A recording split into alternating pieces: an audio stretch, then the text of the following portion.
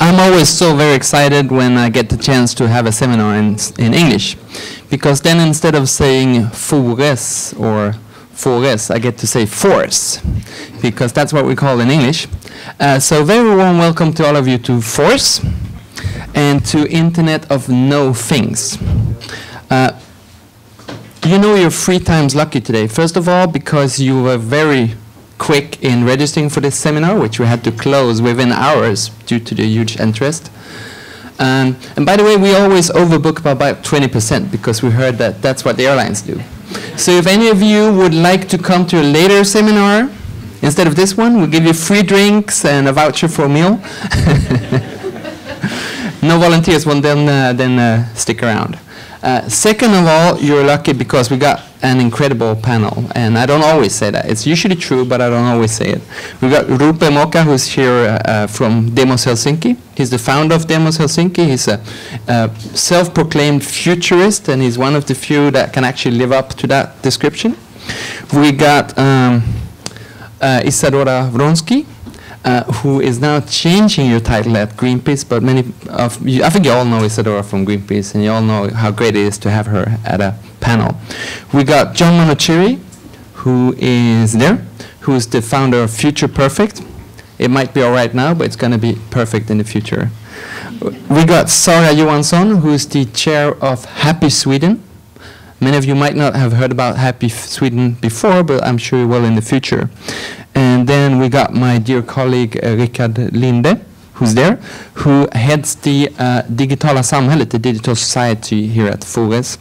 And last but certainly not least, we got uh, James Hanusa, who's uh, I can't even describe all that you are, but you you are the global advisor to to Burning Man. You are one of the ones who started free50.org and so many other things that I hope you're going to describe for us when we go through this. Uh, oh, and the third reason you're lucky is that I've got a very sour throat, which means that um, I'm going to limit myself to this introduction and then some very few questions, and that also means that you will get ample opportunities for your questions. So just make sure that you give me a small sign, and then this mic is going to be yours. After the first initial presentation by Roope, what is Welcome to the Future? What is Internet of No, no Things? How many of you were at the Almedalen seminar when we did this the first time? Not many. I was there. I didn't understand anything. so I'm just so glad that we do it a second time, and hopefully I'll understand it at least a little bit. And the good thing is, all of you that don't want to tell others that you don't understand anything either, you can you can give me a secret wink.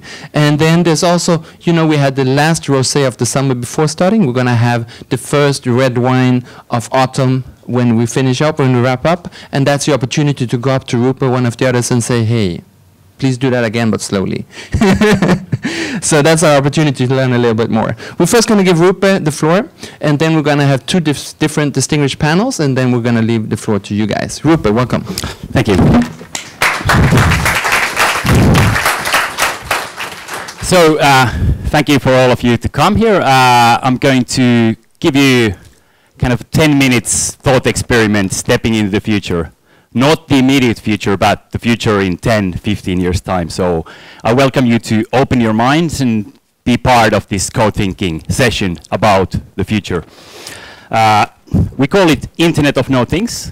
Uh, it's about the moment when internet ceases to exist. It becomes part uh, of our environment. Uh, and we think it's one of the biggest stories, if not the biggest story of our time, when this transformative force of internet will grow into part of our everyday life and the material fabric uh, of our society. The first few words about who we are. We are the Nordic think tank. Uh, it means two things, uh, that we operate on Nordic-wide level, so we have projects around uh, the Nordics, but also that we think there's something really special in the Nordic way of doing some things, and not just the welfare state or, or, or the, uh, uh, the political institutions and the governance which is good here, but something between people. Uh, the trust, the way we do here, the flat society, the way uh, we can create innovation, growth, well-being, all these things in a very particular way. It's not like Silicon Valley or China, it's, it's something quite spectacular. So what is Internet of No Things? To be able to explain, uh, I have to ask you a question. So when's the last, last time you looked at your mobile phone? Who's looking at the mobile phone right now? Can I have your hands up? Uh, okay, 10 seconds ago? Who, uh, one minute ago? Five minutes ago? Six minutes ago? Uh, so the global average of looking at your phone is every six minutes. So people will take out their mobile phone, have a look at it, see if like there's a red tab on on Facebook, if there's any new mail. They'll go to Instagram, they'll go to Reddit, they'll have a look at uh, what's what's new on, on Twitter. Has someone commented something? Then back to the pocket. Six minutes, the same starts, something Facebook, something Gmail. It's obviously crazy. I mean, we disrupt our thinking and go through these same things every six minutes, every six minutes. So Internet of Things, uh, Internet of No Things is the point where we don't do this anymore. Is uh, our key assumption is that in 10 years' time we will not look at our phones again. That's obviously a crazy uh, hypothesis. It's obviously quite crazy to say that, but what if someone would have told you 10 years ago that you will look at your phone every six minutes and go like this? And there's nothing there, but still you go back. Why? Uh, there's a very, very strange uh, law that not many people have looked at. Law in terms of how technology develops. It's not very much talked about, but it's very, very obvious when you start looking at it. Firstly, things used to be really kind of heavy and really big. This is the first uh, memory uh, coming to Finland in the 60s. Uh, that's five megabits. Five megabits is so little that I don't even know how little it is, but all I know is that like typically a mobile phone would have 64,000 megabits, so quite smaller. You know, it gets smaller and smaller and smaller. But that's not the only thing. It also starts including more and more things. So all of this, this is like an ad of what kind of things you could, like cool consumer electronics you could have in the 80s. They're all in this, you know, all these things you'd be able to buy from Radio Shack are in this small, small mobile phone. Right. So it means that things are getting smaller, but also they're getting cheaper, and they are including more and more functionality. So there's technology worth 1 million crowns easily uh, in any smartphone. If you look at how much they would have cost if you buy the gaming console, the Walkman, all the things that are in your mobile phone. So this is the law. I haven't got a name for it. But it means that the price and size of technology gets smaller, and technology includes more and more functionalities. So what the logical endpoint from that is that we're going from smartphones to smart environments, things that are so small that people talk about smart dust.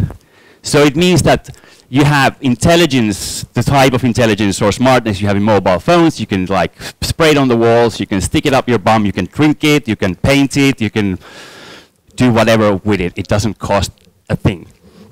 And so the world will look something uh, a bit like this. Uh, we're working uh, with these university laboratories that create energy independent sensors. Uh, and it means that you can basically use the environment around you, the physical environment around you, pretty much the same way that you can use a mobile phone. And of course, you're going to have more and more functionalities, more functionalities that you actually have in your mobile phone today. So, of course, you know, we're from Finland, so this, the pulp and paper industry will have some kind of role there as well. So, uh, otherwise, who would fund it? It might sound a bit sci-fi, but this is, these are you know, actual technologies in development in, uh, in laboratories. Uh, so internet will become first everything that is electronic or electric, everything that has electricity in it will have some kind of internet qualities. And then everything that is man-made, and finally it will be so cheap that we can like even you know spray some internet on the woods if we like to, so they can tell us that when is the, just the right time to pick us this particular tree. So you don't have to like harvest uh, in a similar way. You can just see that okay, this tree is ready and ripe to be harvested right now. And talking about the harvesting, uh, there's a few technologies that are really key to this, and the absolute must is energy harvesting. And this could be the next big revolution in energy, or the one after the next big revolution in industry. There's so many revolutions going on. But it essentially means that all objects, all machines, if you like, will be able to create their own energy. So this sensor revolution, smart city, smart home, Internet of Things, none of that will happen unless these sensors can create their own energy. It's absolutely key to understand that. And that's really what drives this new way of thinking about energy. So if your mobile phone or your laptop or your car or your home creates its own energy, it doesn't matter how much energy costs because it's in the price of the actual product. So energy uh, becomes from something that you create in massive farms into something you create from heat, light, movement, and radio waves, which are the four things you can harvest energy from, uh, and you can harvest them on individual level.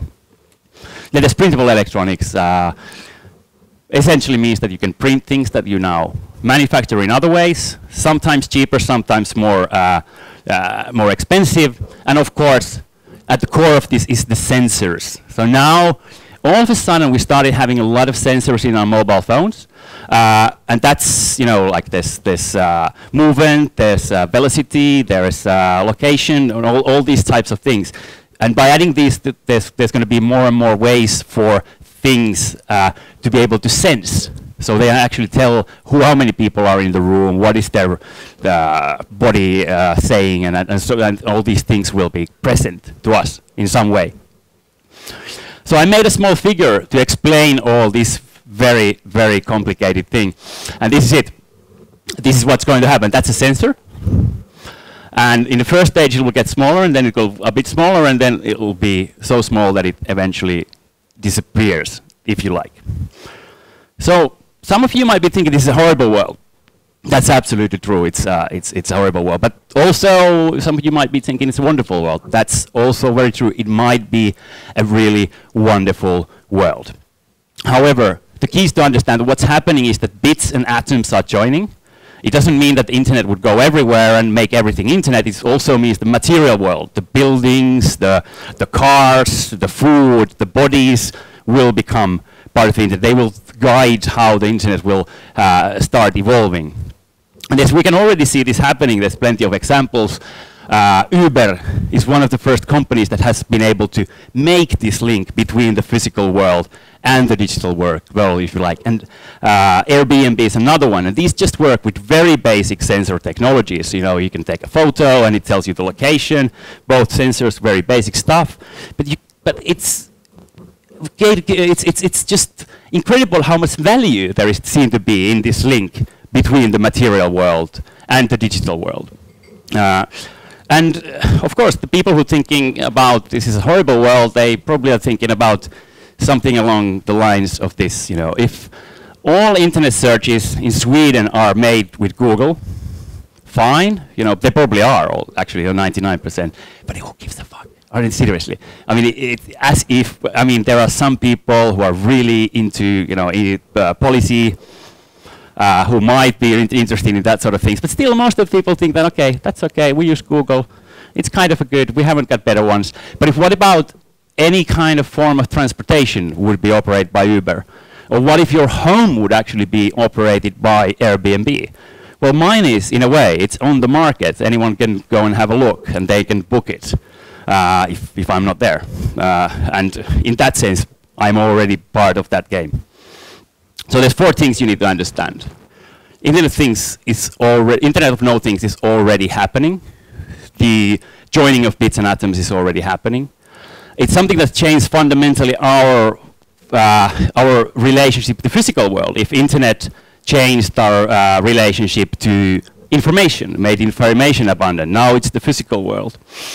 And this means that eventually internet uh, will disappear. It will become part of the environment. It will become such a uh, abundant uh, technology that it's it's just like our clothes or buildings. We don't really think about them as technology. They are just something that is there all the time.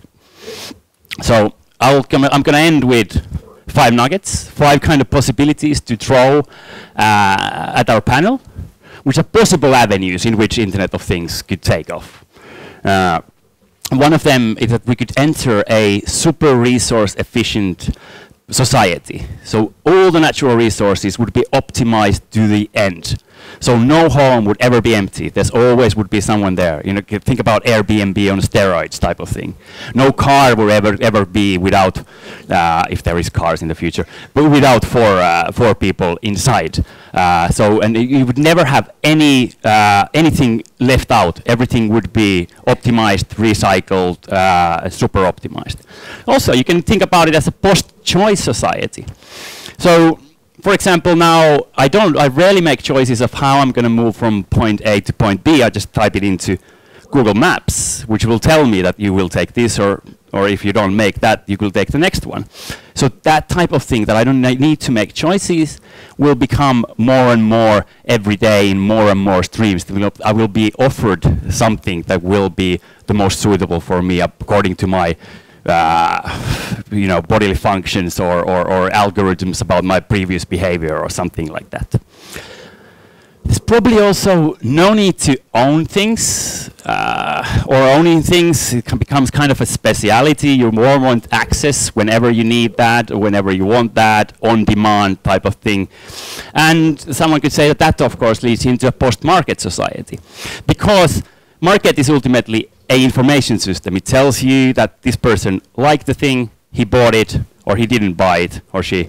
And uh, now we have much better information about how the behavior goes. We don't, perhaps market is gone.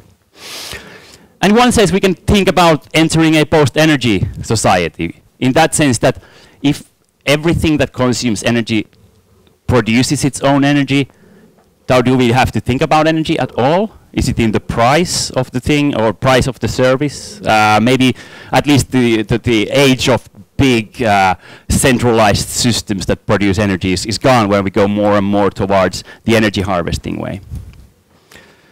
So where to now? Uh, there's two things, kind of two roads that we can take, uh, choose from. And you can choose freely uh, either you want the conservative agenda or the progressive agenda. Because a lot of things, when I, I, go more and more into this and try and more and more think about the future like this says to me that uh, we should still try and conserve a lot of things that we have. Uh, but ultimately, that's a conservative agenda. We shouldn't be thinking about, okay, what can we what can we safeguard from our current things.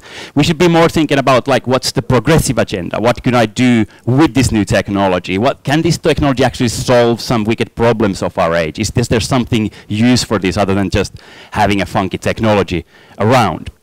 And also, of course, for us, we think that this is where the Nordics can come in. This is where we can say that we have a society where there's a lot of trust. We have a society which is kind of born to be a sharing society. We share a lot of things. We have ideas of commons and so forth. So Nordic values is something where you can build this type of technology on top of, as opposed to, let's say, the Korean or uh, the the uh, the uh, the American uh, way of doing that, which would be totally different. So this is why we think the Nordic Nordic approach to this type of new uh, radical uh, innovations in internet could be good. That's it, really. Thank you very much.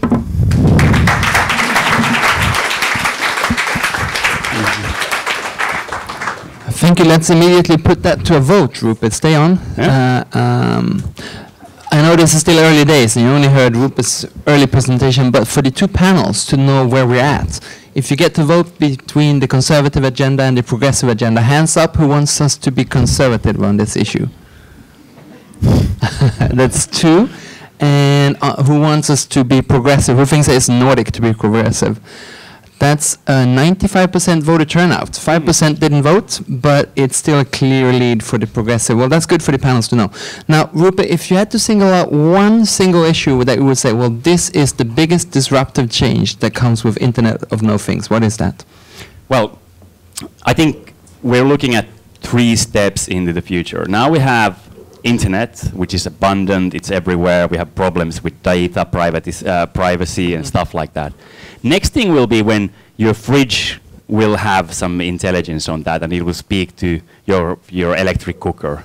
And no one's really interested in what they will say. But when, when we'll step to the uh, step to the point that every single object has got possibility to sense, you can communicate with that. You can build service layers on that that's when Internet of No Things start starting to happen. So we kind of, kind of like Internet of Things, which is I'm sure many people have heard of, is kind of a phase in trying to get into that. It's kind of like what internet was early 90s. Some hackers are interested in it, and maybe some kettle manufacturers. All right, thank you so much, Roope. Let's bring up the first panel. We're going to have two panels. The first one is going to focus on, okay, so what is... The second panel is going to focus on the integrity issues and the social issues. And on the first panel, um, we've got um, Isadora Wronski, we got John, and we got Sara. Please come up to the stage, all three of you. You're going to go first, right? And Isadora, you, Isadora, you're one of very few who actually had this, uh, when, when Roope presented this at, at Almedalen. So you're one of very few who's, who's actually had two months to think about this. So what do you, what do you come up with? Yes.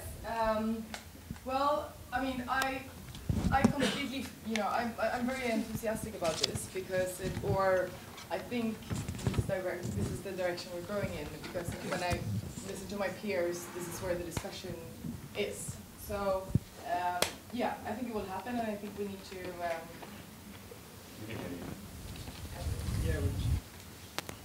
no. Hörs det bättre? Ja. Där. Okay.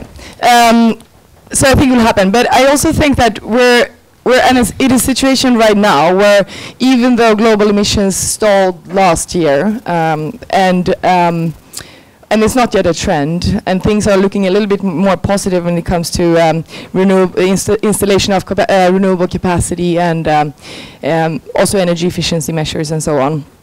I think that um, there's always a difficulty when we put our trust into uh, technologies that are too far into the future instead of grabbing what is here because what we need now is a really quick and fast um, trend development towards decreasing uh, emissions. So um, if uh, tables can uh, harvest solar energy or other energy great, but we don't really have time to put all the investment budgets in that direction just yet. So, so that is one aspect. The other aspect is like, so I, I don't know exactly what it will take to do this, but I think that we need to have a holistic perspective when planning all kind of uh, development on the planet right now, because we're at this, we're at, we're at a situation where um, we need to think about the resource budgets because otherwise there is no future on this planet. So uh, a lot of sensors or nanotechnology, what will it mean? What will it mean to our ecosystems? So,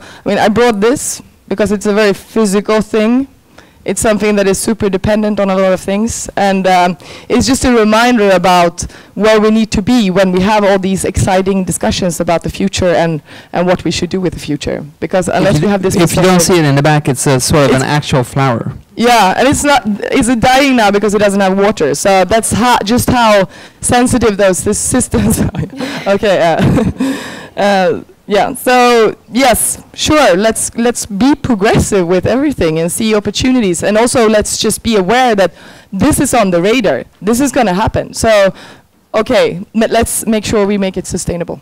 But Isadora, your main reason for being enthusiastic is that because you see Internet of No Things as being the pathway to a very resource-efficient society. I think it's um, Th that I don't know. I mean, it could be, but it, I guess it depends on how you apply it. I mean, I, I, I wouldn't really. I, I, think it's as everything. It depends on decision making. What kind of structures, governance do you put in? You can use this for bad things. You can use it for for good things. So it's. I think it's just up to us to use all the kind of technological development happening in, in society right now, not just in this area, but others as well, and make sure that we have our long-term vision with the planet in place. We found a study saying that it's good for your health and for the ones on the panel to uh, applaud. So let's do that.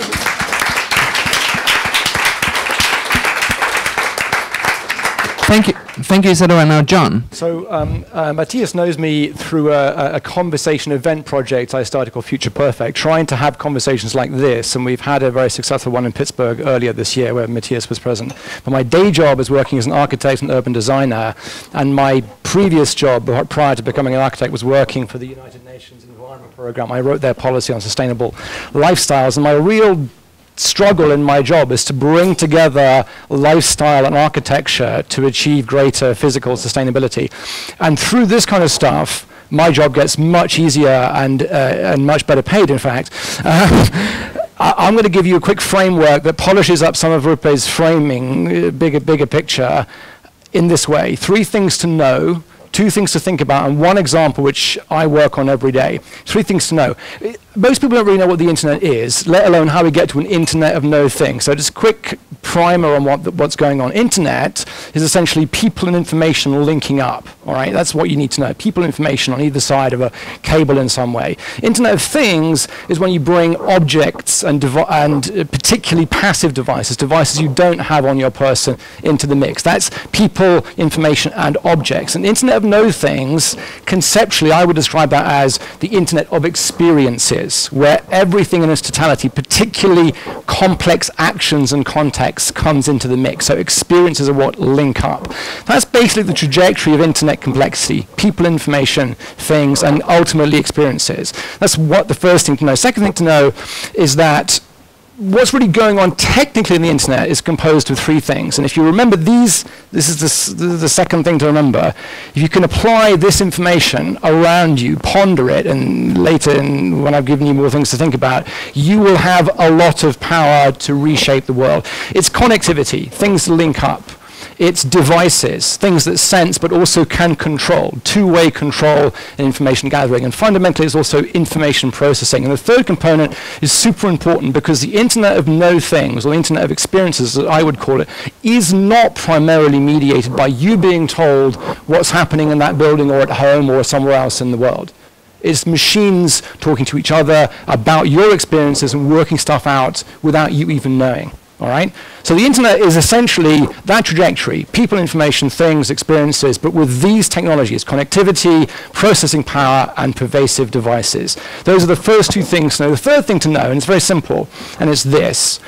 I'm an environmentalist because of the hockey stick curve, the exponential change in resource consumption in the last 50 years or so, 100 years if you include the whole industrial revolution. I'm scared of that, and I've always been scared of that, and it motivates me more than anyone except these guys might know to work hard. And, uh, and I find a lot of inspiration in challenging that, but I'm also terrified of it. The one thing that makes me feel inspired about the world we live in now is the exponential increase in potential through the internet. That is the exponential that counterbalances the increase in damage to environment and consumption of resources. Those phenomena, internet of people, information, things, and experiences, mediated by connectivity, processing power, and pervasive devices. There is an exponential increase in it. And the third thing to know, it's not going to stop. So you can give up on any fantasy ideas about fiddling around. This is coming faster than any phenomenon in history. So take a step back, and then ponder these two things. what's going to change basically through the internet of in the internet? I will call it the internet, but ultimately this richer internet of experiences is in two categories, essentially systems, but two categories of systems: infrastructure and institutions, right? And so Roope, in his five things to, to, to ponder, talks about the post-market world, and that is the ultimate, one of the ultimate institutions, the market community is another one. They are radically being restructured by this superflow of information on levels that we have yet to really understand. When computers are talking to each other about mass data sets, when they are heuristically working out what they themselves should know, heuristic algorithms, we don't even know what they're looking for. That's an information realm that's very new. And that will refashion the market, but everything within that. It will refashion what it is to be a consumer. If you put your home on Airbnb, right? Not renting. If you put your home on Airbnb, are you a producer or a consumer? Ask an economist and watch their head explode. Because we don't have the models for what's going on right now. Right? So institutionally, there'll be lots of change, and I'd love to work with Roope and, and, these guys on that kind of thing. But my real interest and my job is about the change in infrastructure. It's physical things. All right? And so infrastructure change might be how roads are designed or how cars are designed, physical things at at the large scale, car systems really, not individual cars. And so those are, those are the two things to think about. When you have a sense of what the internet is, right, and what this internet of things, experiences is, and how it works technically, and how it's changing, it is the good exponential curve. Think of it through those two lenses, institutions, what's happening with how we organize people, and then think of it, if you want to think a bit like me, like an engineer or a designer, what's happening with how we organize stuff, stuff at a large scale. And so those are the two. The one thing I'll give you as an example, just to scratch the surface of the kinds of things I can get to do. We can talk about this later, this is, and then we'll, we'll kind of carry on. But I just want to share this with you. If people have Apple Watches, and they will, realistically in two years, pretty much everyone will have some kind of device like that on them. The way we organize deliveries, vehicles, locks, payments will all change. Think of it. If, if, if the delivery companies know where you are, they'll do a lot more delivering, right? Most deliveries happen because it's ridiculously difficult to coordinate the stuff and the people. Think of that in terms of design. How fewer, how many fewer parking spaces at the home, in the, in the, in, at the supermarket? How would you organize locks? How would you organize play spaces?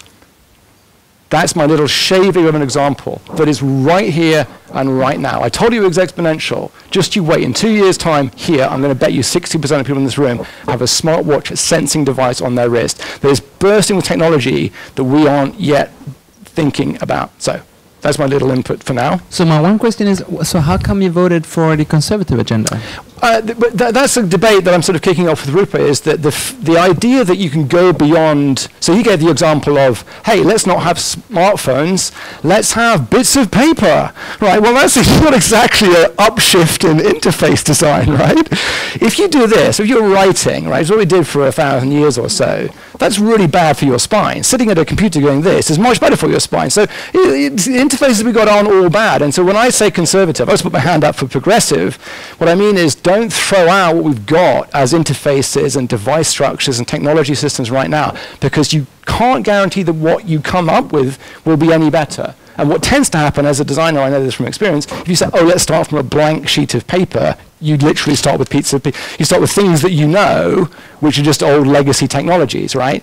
So I'm a bit of a conservative in the sense that I want us to design new systems of engaging to exploit this internet of, of experiences in a, a, mature way, not just trying to reinvent everything because you can guarantee we're just going to borrow old ideas.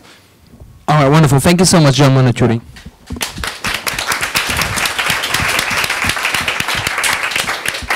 And Sara Johansson, Happy Sweden. How many here know about Happy Sweden?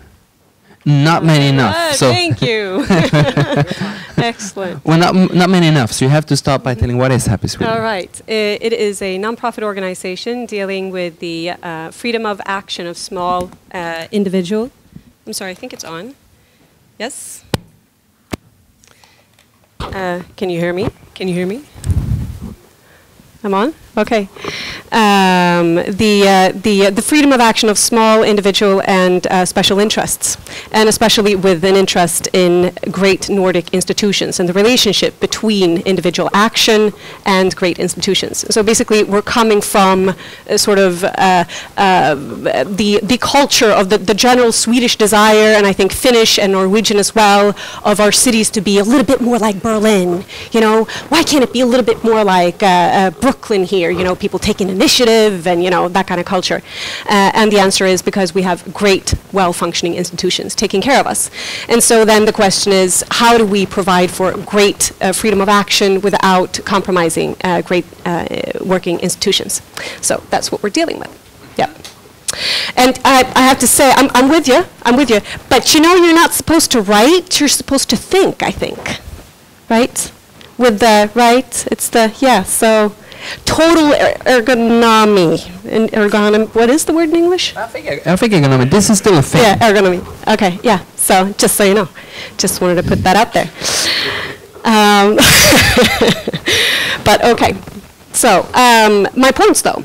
Um, so what we're doing, though, is we're working with physical space, and we're coming from a planning perspective. And um, so, uh, of course, as a planner, we're always interested in the choices that we have uh, to make. And in that sense, to a large degree, that we're inherently conservative both in, in uh, sort of uh, um, uh, fearing the idea of uh, the post-choice society, the post-voting society that you've also uh, uh, been, been talking about, where um, democracy is ruled by behavior rather than active choice. And as we know, behavior is something that doesn't necessarily sort of indicate what we desire for society, right? Uh, we're pretty much, I mean, we have an altruistic side, but there's also a desire to optimize uh, our own interests at all times. So uh, a democracy based on behavior seems terrifying from our perspective. So that's uh, one thing to think about, we think. And then also, uh, of course, uh, the data processing development is going a lot faster than the efficiency increase in energy production. So at some point, we might end up in a society where we are carrying our own batteries, uh, uh, in a sense, or being our own batteries, uh, sort of fueling our own uh, uh, uh, needs um, with, our, with our bodies and so forth. Um, but we have a long ways to go. And I haven't seen any projections, but I think it's pretty far ahead.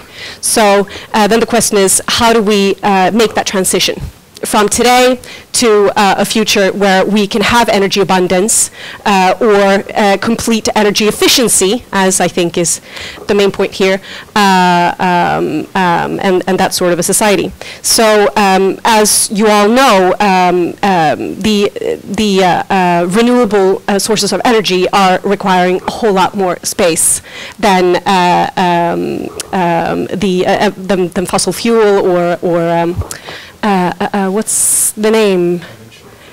I was uh, nuclear power. Nuclear power. It's so old. I can't even think of the word. Who can remember these things?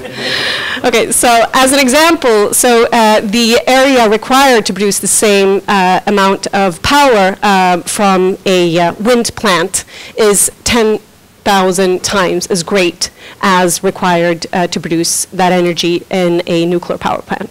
So that is that it, that has huge implications on uh, our society and our physical space and and uh, how we want to construct our cities. So that's one thing to think about. This is as right now this is an energy abundance alternative. The desire is to go for complete energy efficiency, but today we're going um, all our stats are pointing towards uh, using more and more energy. So with this technology, so um, um, how to how to make that transition pretty much. So that's one, and then of course the issue of, integrity. Sensors everywhere. I mean, uh, what does that mean? And in certain social contexts, we might feel entirely secure being completely monitored. And, and uh, Swedish society and uh, Finnish society and uh, Norwegian societies are a good example, high social trust, right? Um, and so, for example, we have a long history of collecting data um, personal data and being very comfortable but with it being done centrally and processed centrally. Uh, this is not the case all over the world. This requires trust and social contracts. So um, what are the implications for the other parts of the world?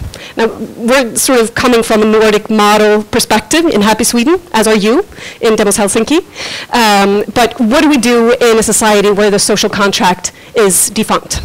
Pretty much. But this basically means that you concur with Roope that this should ideally start here and that we could be by far the most progressive. I, I think so, absolutely. But also then, of course, having to be aware of the, the possible uh, difficult and dangerous implications for, for other parts uh, of the world and other types of social situations. And also, of course, let's not sort of over have, have overconfidence in our social contracts. They're always fragile and need tons of work to be maintained. Thank you so much for those comments, Sara.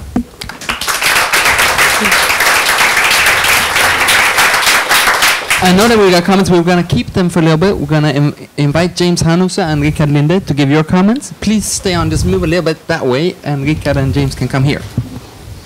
And you get to share the best mic. Okay. Yeah.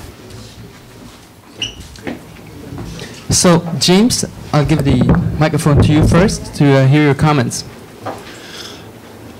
So the first time when we did this in Almedalen, uh, I was the first one to get the mic after Roope had, had laid down the framework of this thought experiment. And I'd just been invited to that panel, I think, I don't know, 14 hours, yeah, a short while earlier. Um, so I was trying to get prepared, and I didn't, I didn't really get it. And I asked like three people on the dem- on the on the demos team, like, what are we talking about here? The Internet of Things. It sounds cool, but I'm not quite sure I get it. Um, and I got the mic first, and I hadn't wrapped my head around it, so I just passed the mic because I didn't know what to say. Um, that has changed um, through friendships and partnerships that have started. Um, we met each other in Almedalen, and then Roope invited me to Helsinki to uh, speak at an urban life conference that they produced during the Flow Festival. Um, I decided not to go back to San Francisco and rather to um, focus on myself, to put myself through a human accelerator, to be the guinea pig, to be the demonstration project, uh, to do an artist in residency in the Nordics. Um, slipped a little Baltics in there and, and London as well. But um, what I think we, we also said, how, talk about the social angle of it. So I think it's important to maybe make it personal. Um, what the, the Internet of Things? What if what if it's what if Internet is is accessible anywhere, and that's coming. Um, Elon Musk is putting satellites in the air.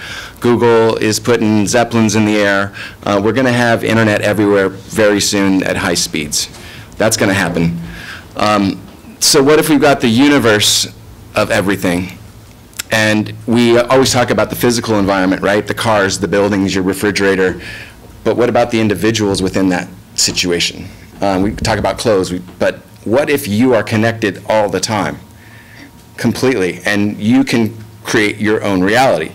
There's a Swedish philosopher who's awesome called Alexander Bard. Um, he gave a presentation uh, in February in, in Amsterdam for us at the uh, Burning Man European Leadership Summit. And he basically said that that place, Burning Man, is a, is a physical representation of the internet. And I think what he meant was in that physical world, people are co-creating the environment and reality that they choose to live in. And we've got that technology now today with the internet. It, it, will become more and more, I think, as we get into this Internet of Things world, and it becomes, again, more of a personal projection and interaction. Um, what if our what we're wearing or not wearing or don't have in our hands or whatever is informing each other uh, on a on a real-time basis? So that's where that's kind of where it started. Um, I'm really interested in where it goes. Um, so the two-month residency, uh, I figured out that I wanted to launch this artist, and for this artist to be co-created, and for this artist to be a guinea pig of possibility, and take that lesson learned and apply it to cities around the world, and take it from an individual to a place, and work with you know, some of the brightest minds and technical universities to create that experience and art form of transformation.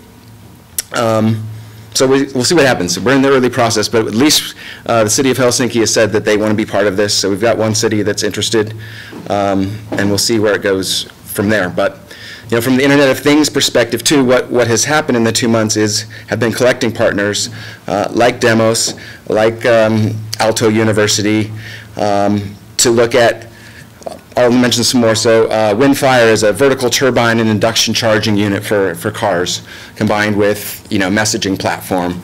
Um, Unity is a new self-delivering uh, city electric vehicle that can be combined. So if you go to a city, you leave behind some of these possibilities in a district where people can go experience an immersive future of what it's like.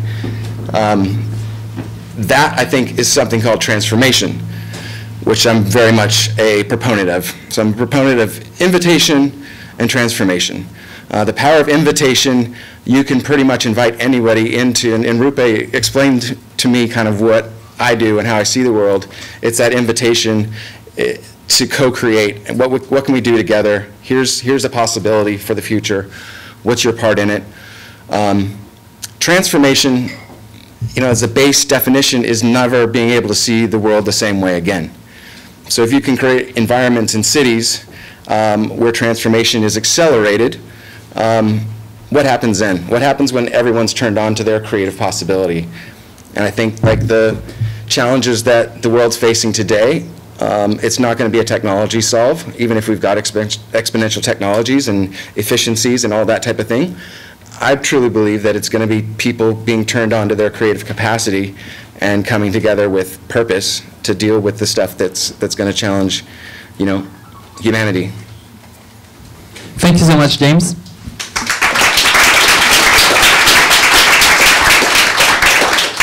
And last but not least, our program director here at Fores, Rikard.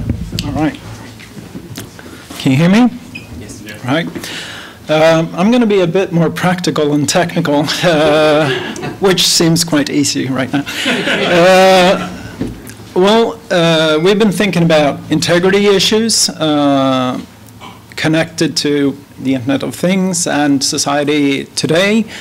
And thinking about this seminar and this panel, uh,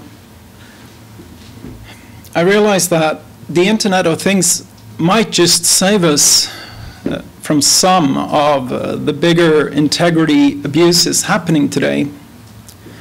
And the reason would be that the things that connect with each other, they need to be able to talk to each other without identifying themselves.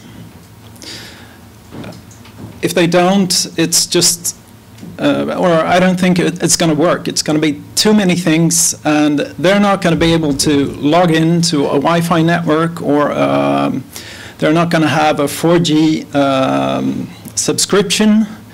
There's just going to be uh, a million things in each home and in our bodies and stuff. So they're going to have to be able to connect, assuming uh, connectivity and assuming they don't have an identity. So they'll be really different from uh, the smartphones that we're sort of uh, uh, thinking about right now, which are definitely part of the Internet of Things. Um, and the smartphones are sort of uh, the one big reason why they're so successful is because they identify us. And that's, that was sort of the first, uh, one of the first big issues of the internet when we used our PCs and laptops.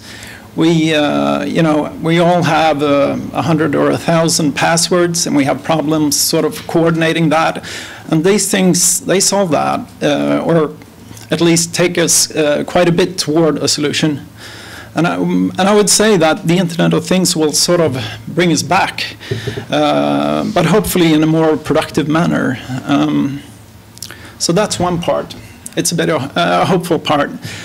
Uh, and the other side of that is sort of uh, if uh, these things, uh, to make this work, they, the things need to be able to assume connectivity so we can't depend on, like I said, the Wi-Fi network or the 4G network or a mesh network. They just need to be able to connect and send their message to wherever it goes. And that, that brings us to uh, another world where uh, we probably have to think about connectivity not in the sense of a market with operators, but more as in uh, uh sidewalks or, uh, or uh, roads that we build and then anyone can use them for whatever purpose. And the more I sort of think about this, the more that kind of market makes sense and the less uh, the one we have now uh, does. Um, but it's a bit hard to sort of get away from the, the, the way we think right now. But I'm pretty sure we're, we're going to sort of struggle with this and once connectivity is just something that is, uh, I would say that will be a major part of making the Internet of Things or no things uh, a reality. But before it does, I, I don't think uh, we'll see that happen. So for, from a policy perspective, um, it's a pretty simple equation, what we need to handle, or at least one component. So I'll st stop there. Well, thank, thank you so much, Rikard. And I know that several of you are bursting to give comments, but and I'd love for you to do that in just a second. But let's have Roope back up and uh, ask him to reflect on the comments that you've done, because you've been, but, but, you've got a fairly positive panel here. But you've been challenged on integrity. Hmm? You've been challenged on maybe this is a way to postpone emissions reductions that we yeah, need to do yeah. now, and maybe before there's uh, solar power in this in this thing, it's just going to be a huge increase in electricity consumption. For instance, those are some of the challenges that you yeah. heard. I agree. no, uh, That's the easy I'll. I'll, think I'll take um, th uh, three things uh, in consideration. One is the the energy equation here, and of course, what we're seeing is that the, to be able to optimize the use of everything brings a lot of more efficiency, and we know from history, albeit it's not quite clear how it happens, that there's this thing called the rebound effect. So it means the more efficiently you do something, you do more of it, right? So there's nothing that really guarantees that we get that the super optimization will actually be super optimization just by itself. So the technology doesn't really guarantee, it just gives you a, a right to do that, but then maybe you use the energy for something else. I don't know. Uh, the second point, which was about the post-voting, uh, or you know, kind of post being making decisions, voting and stuff like that. I mean, if you start thinking about the world in terms of you will have abundance of data about what actually happens, you know, about people's behavior. I can see a lot of things that we discuss now on poli- policy level on politics becomes irrelevant because we think about we we talk about what if this and this tax would come, and we kind of speculate around it. But what if we try and then we have data and we see that what happened and we can see, see that okay maybe we do something different that didn't work. So I'm not saying that politics would have would disappear, but there's a certain class of politics this, that is just like hypothesizing about future systemic changes that really we cannot guess. We have to try and see what happened. Uh, third thing. Mm, I don't remember what it was. Wonderful, because we know that many of you are bursting with your questions. But first, a brief comment from John and one from Isadora. Um, I was going to say two very quick things, but I just want to correct one of Roope's points because um, the rebound effect is not about energy consumption; it's about monetary expenditure. If you save money through efficiency there, Oh, you spend well. your It's money. well. But uh, energy efficiency hasn't yet shown energy rebound, and what we can say from that is that energy efficiency is good wherever you find it. And sensor-wise, it will be very profound to save and produce energy where we can. So this is a little more optimism there. Institutionally, I think the privacy issue is, is an interesting one. The institution around privacy basically is going to get reinvented, and we have to deal with that from first principles. Most people don't know about Bitcoin, for example, that Bitcoin, this super secret thing for criminals, all transactions are transparent. Every single movement of money from one Bitcoin account to the other is, from the beginning of time, transparent. We just don't know who did it right? So, and that's something that people don't know, and it's hard even to get your head around. What is anonymity if people know what you're doing, but they don't know who did it? And that's the new privacy regime, and that's what technology makes available to us, and in some ways enforces.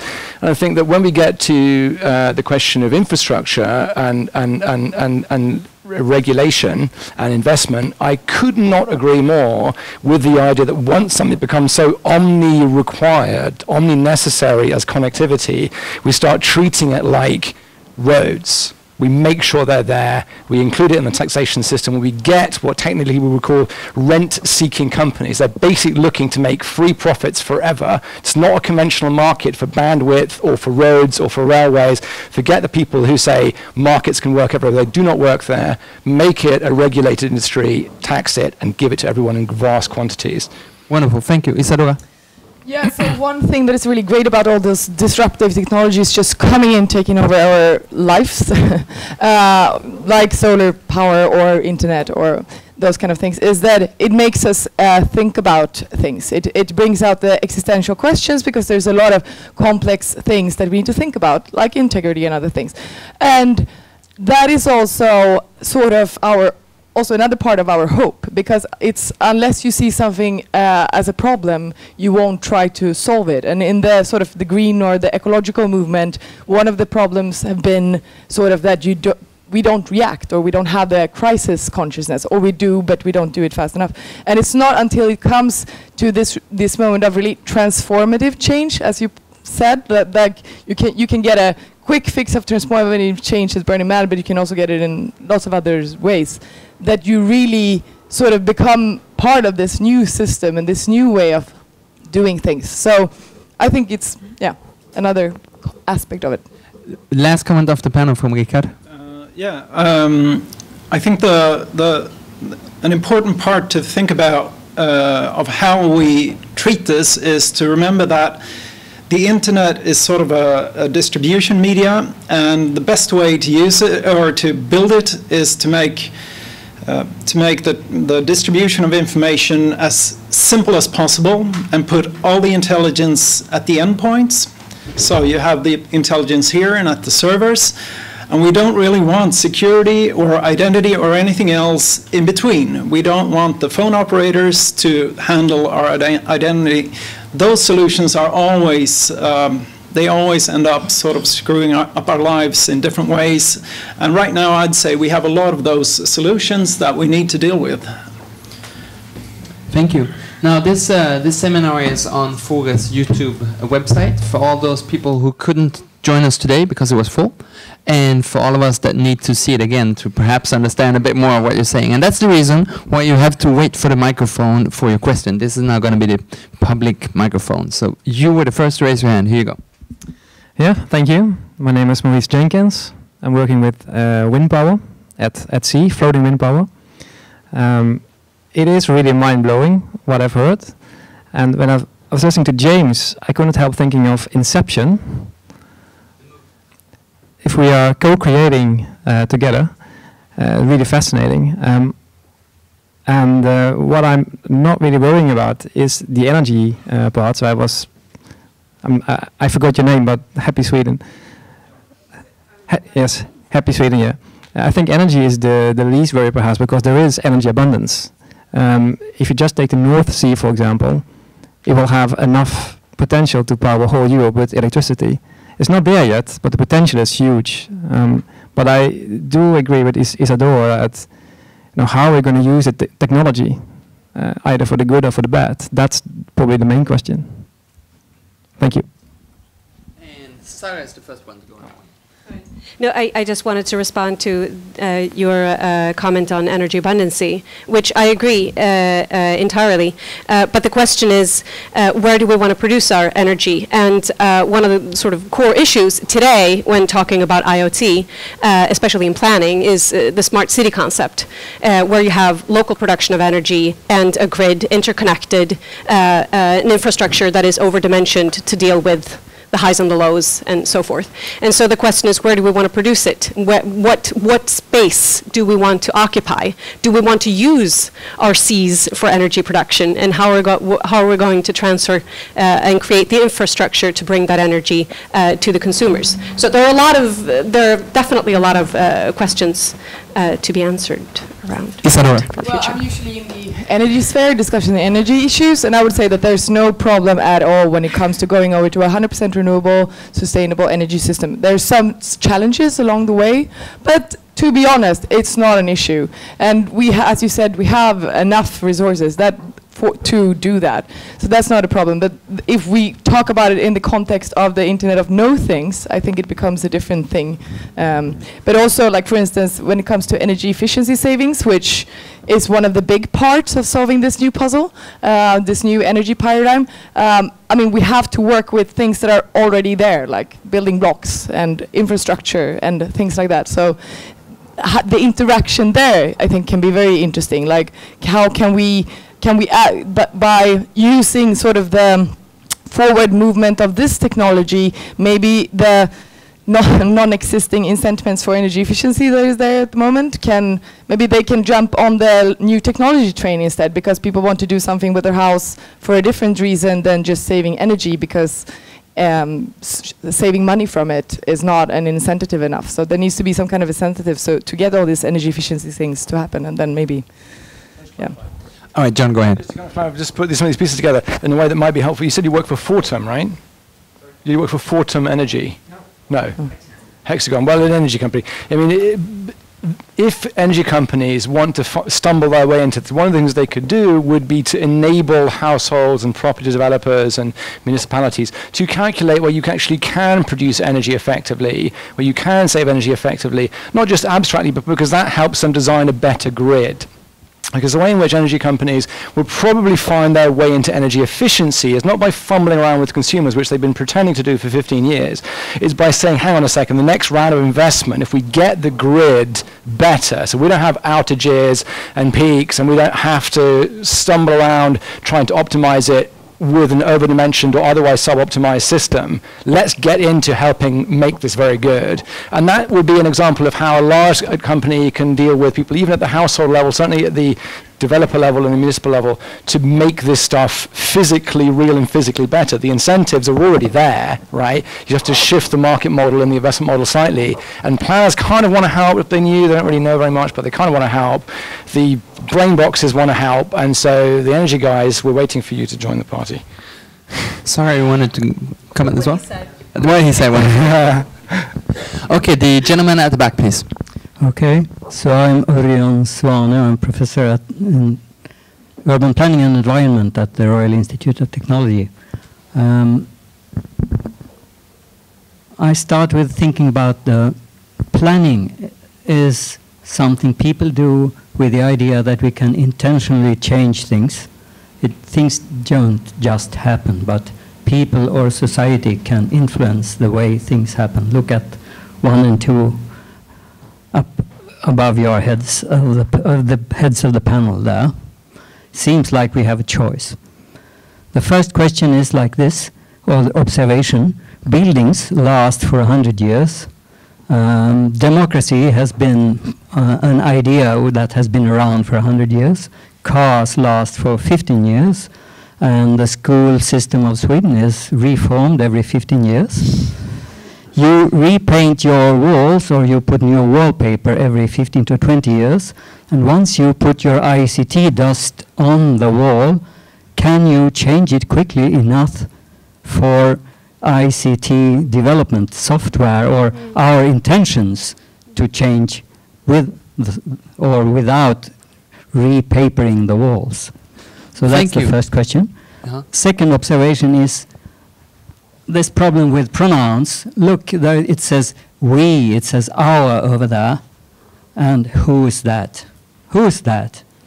It's such a tricky thing to hide an extremely complicated thing to just put two or three uh, letters on a piece of paper or, or on a presentation.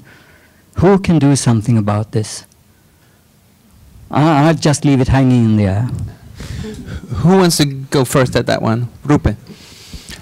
Uh, first about the, it's a great observation that these material things are fundamentally different from digital things because you just don't download them from the net, they don't update them that way. And already kind of like, because energy is one of the first things where we're seeing this happen, the, the big thing is that, okay, who will install the panels? Okay, so when we start having this type of exponential growth, it might be hit by, you know, that there needs to be a guy that goes and zzz, zzz, puts the panel there. Okay.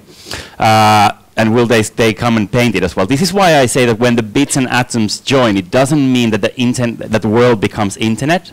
It means that the physical world and the digital world will join and exchange qualities. It's more like a kind of biological process than something that where, where cells change the, uh, some particles. And so that's the right metaphor it, rather than internet comes and disrupts the world pretty much like it has done for, uh, let's say, banking and uh, telecommunications and media and so forth. That's information. But when it comes to the physical world, it's it's some it's it's in, in a given place. There's wear and tear. You know, there's something cut out of this table. Matthias, you should get a new one. But you know, if you if you want to get a new program, you just download it. So it's fundamentally different. It will it will uh, be different internet after this thing has happened. Uh, for the second point, who is we? I think that's for us to decide. And uh, pretty much everyone except for Sarah as yet has wanted to comment on this. Let's just go like this. Yeah, no, but that's that's why the flower because I think we need to. I mean, we we need to uh, bring that into consideration, like the, the physical existing things, and that's not what we've done with society today. And uh, if we're going into a new era that where things are radically different from today, we cannot again go into it without thinking. We can't just leave it up to whatever technology progression to, have. or we can, but then you know we might just wipe out civilization. And so it's. I think we need to be really smart and strategic, and at least consider what we have to play with here. John. Yeah, but so early on, uh, quick answer, yes, everything can be upgraded and the amount of resources required is collapsing very fast. But actually the way to ask that question is, if you take cars and uh, housing, the physical requirements for those two aspects of your lifestyle, particularly the um, energy uh, minerals, heavy stuff, and, and toxics is so vastly greater than anything you could possibly need in lifetimes of Internet of Things that that's the question you should be asking. How do we improve autoculture and construction industry. They are the ones that are destroying the planet physically and chemically. It's not the tech. So tech can be upgraded, but also it's relatively innocent in the use cases that you're pointing to. Secondly, who is we? If we talk about planning very quickly, planners are super unscientific and super undemocratic, and both of those will be very much helped by more data to process, to run a model, which planners almost never do on how to design a city, and who to ask and how to ask them, which also they almost never do. So that's who we is. We is we for the first time, unlike the boffins and ivory tower that have been planning cities for a thousand years. Thank you, Sarah this guy keeps stealing my points. Okay, uh, recap. But, uh, but, but no, actually, this uh, I do I do want to make a comment though on the on the weak question and uh, talking about social contracts again because I think it, it does uh, uh, serve being emphasized a few times extra. Um, technology is developing quicker than our social contracts today, and we can see that very clearly in terms of social media and ethics and the the framework regulating behavior in this new technology or that this new technology uh, uh, sort of uh, allows for, the interaction that allows for, uh, it is lagging behind the technology. So I think this is something for the future. This is, a, this is going to be a continuing struggle going forth. Maintaining the social contracts and renegotiating them in, in an ever increasing speed Thank you. Before letting Rikard in, I just want to say that we are wrapping up in 10 minutes. And if you feel shy about asking a question in English, French, Danish, Spanish, and Swedish are also okay. So we got two more questions and we got room for, I think, a third or a fourth. We'll finish, that's true. Rikard. Yeah, so um, I'll avoid talking about who we are. I have no idea. Uh, but the, um, your first question gave me a thought um, along the lines of connectivity, and that is uh, instead of planning, uh, we could probably, uh, I think, making sure that things can connect. Uh, the smarts uh, at the endpoints can develop um, while still sort of uh, uh, giving us something, allowing the network and the result to sort of grow with us. so I, I, would say connectivity is a central issue to making an unplanned future work. Um, and as a side point uh, about smart cities and energy, smart grids, I'm sort of waiting for uh, the renewable uh, energy world to start talking about uh, having your solar panels or your um, lamps and stuff that use electricity to start uh, working two ways. Uh, so that everything that uses electricity should be able to also transmit it. Uh, and they, they shouldn't need a grid to be able to transmit electricity to something else. What you need is two things with, that uses electricity and you connect them. So then you can sort of, a neighborhood can connect themselves uh, as well as to the national grid. Uh, then you sort of get away from having to build, rebuild the entire grid as a way of integrating the renewable energy, the small scale, the micro wind and micro solar solutions into our world. And that, I, I would say, will, will be uh, something that won't be planned, but it will uh, sort of uh, could potentially evolve in a, in a, in a sane way or, and help us. Thank you. James, now what is this? Well, I had a couple points I would want to react to specifically. One, I think the we is the technology companies that are going to try to survive and uh, who have branded this smart cities uh, and Internet of Things. So it's Cisco, it's IBM, it's SAP, it's a lot of big players that are trying to survive because they think this is the next wave of, of technology and that'll keep them alive. Um, it may or may not. Um, there's a maker movement happening in the world. Uh, 120,000 people come together to, to make stuff. And it might be Arduino programming to create interactive, really smart, simple programming. But you can program basically physical environments.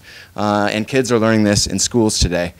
Um, so I think a combination of that and artists uh, will be leading the way. They always have as far as showing people potential.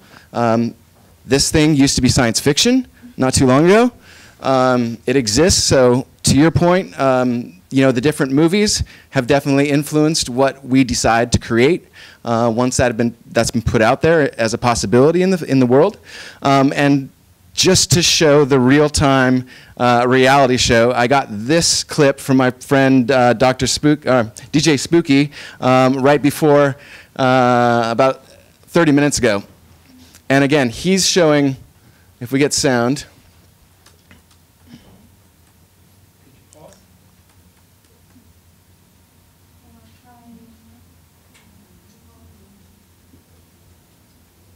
Maybe it's the other cord. I'm a musician, I'm a writer. Okay, let's, let's, let's bring that beat back. Beginning of something that takes you to an unexpected Rewind. Rewind. If I find the controls somewhere. Okay. There. So my point is, I talked about transformation. Once people see things are possible, then they become that more likely to actually exist in the world. And if we've got media being shown,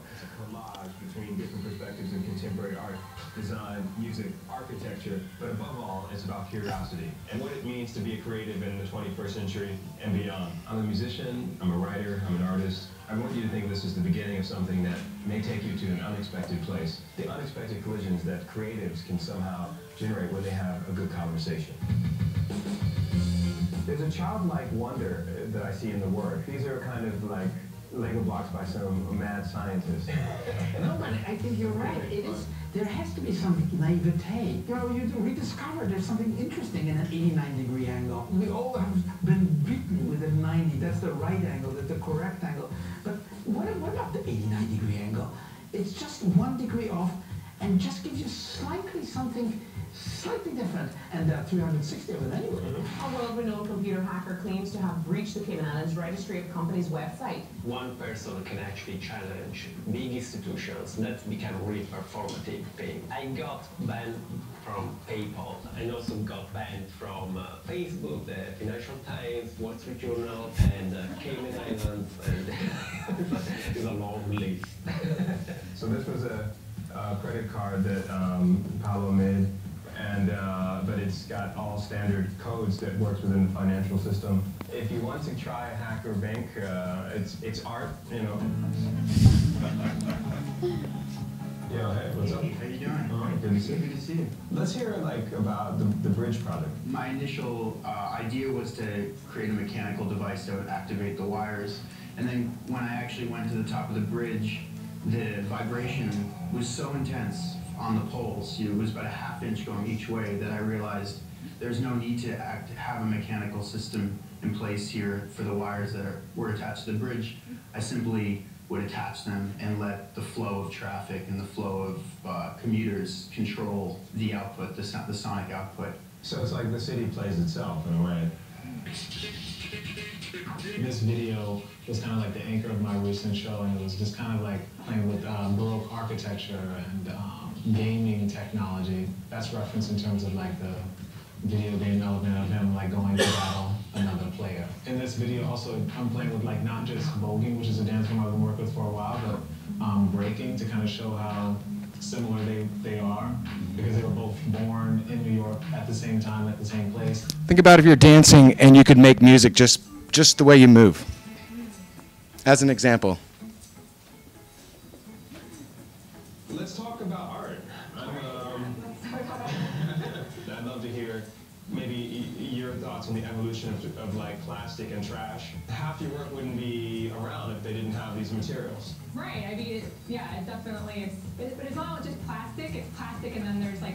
Virtual version of plastic, Mhm. right? So I guess that's where. The virtual plastic. Yeah, but now the, the virtual objects are now part of that. They're part of the everyday throwaway. The everyday throwaway, that rhymes. So what's your goal with this project? Are you, how are you viewing all of this? There's a lot to put together. As an artist, you know, one of my favorite things is exploring uh, the boundaries between different media. So many of the topics and subjects that are going to be presented in this show, I want to understand not just where they came from, but what they're doing now and where they're going to go. So this is the next thing. There's so much there. There's so much to do. I don't know. There's a lot going on, you know? future forward. I hope you can join us for the hearing. So my point with this is if people can see a future, if they can imagine it, uh, it can happen.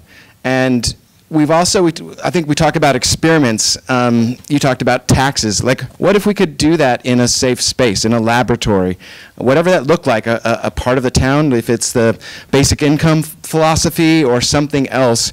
We need these experimental zones that can we can learn from and incrementally improve. I think that's really, really important to the way that we develop this future um, with this Internet of Things and everything else. The one last thing I wanted to mention is um, the opportunity for you to co-create this future is um, October 11th and 12th. Uh, there's a group out of Berlin that uh, other cities are taking this on, a hackathon that's looking at Internet of Things, uh, distributed Internet of Energy. Um, so it's a hackathon that anyone can par- participate in in other cities uh, and create solutions uh, for your local area um, with the technologies that exist today. We are on our, on our way to wrap up, but we've got two quick questions. We're going to take them. Where are you? There you go. Thank you, uh, th- and thanks for a very, very good seminar. I'm quite not sure if, I, if this makes me smarter or more confused. Uh, my name is Teres Lindberg. I'm a member of, of uh, the, the Swedish Parliament and, uh, and also on the Committee of uh, uh, Infrastructure and Communication. We are the one who's handling those issues. And uh, just um, to bring us back, not to the future, maybe to reality, uh, uh, this um, question about being conservative or progressive, I think it's, um, from a political view, it's uh, really more um, generation issue. It's not, uh, you know, it depends on if you're an ancient uh, MP or if you are on the quite younger generation. But but you don't need to be that young. But you know, it's a mental thing. But still, you can't just be progressive when it comes to to legislation because we still have to be a bit conservative because we have to actually avoid the problems. Um, and and I think the the topic for the future and from from the society level or all over is also you know avoiding the problems and supporting the challenges. So I think we need to be a bit of both, even though uh, I think most of us of us in here really wants to be progressive or define us as progressive. I love this as a final question and comment because that sort of sums up the beauty of uh, Fores and, and Demos Helsinki teaming up. I think that Demos Helsinki are really only very interested when it's 2030 and beyond. and we at Fores, we're most interested when we think it's relevant for parliamentarians right now. So when we team up, it becomes relevant in the distant future and relevant today. And that's going to be sort of my final question to you guys. Uh, okay, so what next? What should we do now? With all the things that we learned, what is the next step for parliamentarians like you, for think tanks like us, for all these different people that we see here, given the Internet of No Things? And James, you're first out. I'm sorry. I've got a short one, I think. Um, I want to work with both you guys too, and I'm not sure if, if I'll do the, the real time future or what that's going to be. But if you're doing, you know, 10 years out, you're doing 20 years out. Um, I like to be on that bleeding edge. That's where I'm comfortable, um, exploring what's possible. So, you know, William Gibson said um, the future's already here. It's just unevenly distributed, um, and that can be by place or that can be by mindset. You talked about the difference between the younger people and the older people, um, and this is why I like experimentation as well because you don't have to go full force into this progressive agenda. You can just do it in, in one city, or you can explore for a day in this hackathon. It would be rad if you supported this hackathon in Stockholm, October 11th and the 12th, to, to invite your citizens in to play with the future for a while. Um, that hasn't been done before. That show leadership from Sweden. Um, let's do that as a next step, if you if you want. All right. Yeah, I'll uh, I'll continue on what I said before. I'll uh, I'd like to see uh, I'd like to see you to sort of uh, uh, formulate a vision of uh, Uh, of a play or a situation where all everyone in Sweden can assume connectivity. So, in a place where we don't have to think about how to connect or what tools we use, it's just there, and then you build it. I don't know if I need this. Do I? Yep, thanks. Um, well, I would, uh, uh, from a from a planning uh, perspective, um, I would really like to highlight uh, the the potential for um, um, increased research in the planning field. You've mentioned this before, and so uh, we're living with a with a huge uh, deficit of research in the planning field, and so this is an opportunity to to do something about that, and so start develop, developing the the the sort of social infrastructure for um, for allowing this research to happen. So I think that's the number one. So Paul Miller, who's DJ Spooky, he came to the Future Perfect Festival uh, on Vaxholm in 2012, and he is all about the future. But that's not progressive 100%. He's very smart about the need to balance carefully curating and understanding what we've got and what's good about it and how slow and fast to move. And so although he looks like he's the essence of the future and creative explosions, he's actually way way more nuanced than that than that assumption. So he plays the balance very carefully. What I would say right now is for everybody to check the baseline. One of the things that people I think get wrong is the idea that the future is either better or worse than what we've got. But you have to check what we've actually got first of all. And this is one of my challenges to Rip and these guys. Look at where we're coming from. Are tables good? Are books good? Are pens good? Are the legacy technologies that we think we are, we're safe with because they're no longer new? Are they any good? The baseline might not be better than what we've what's coming down the pike, it might be worse. And so check the baseline in institutions and in infrastructures and stuff. And for the government, since the government uh, representative, I'm not sure if you're in the government, but a member of parliament asked the question, please, please hurry up and get proper structures and debates about these things because otherwise the companies that James mentioned will take over and there won't be much choice. Governments are incredibly lazy and slow about responding to the opportunity space, but also the risks and the institutional flaws that we're going to get ourselves stuck in, privacy, whatever, if they don't grab the opportunity. So I would say play is one thing, commissions and legislation and investment is another, and let's see if the Nordics can keep leading for the next 50 years. Yeah, things, since things are changing so rapidly now, make sure that you have access to the information you need when making your decisions. So, since you're every six minutes on Facebook, you it's probably good to start to follow some people there, so you don't just see cheese sandwiches and babies, but some get some inf interesting information uh, through that channel where which you anyway are at. Uh, and then, secondly, or read The Economist or Wired or, or whatever you want, but take like you need to be observant now because things are happening fast.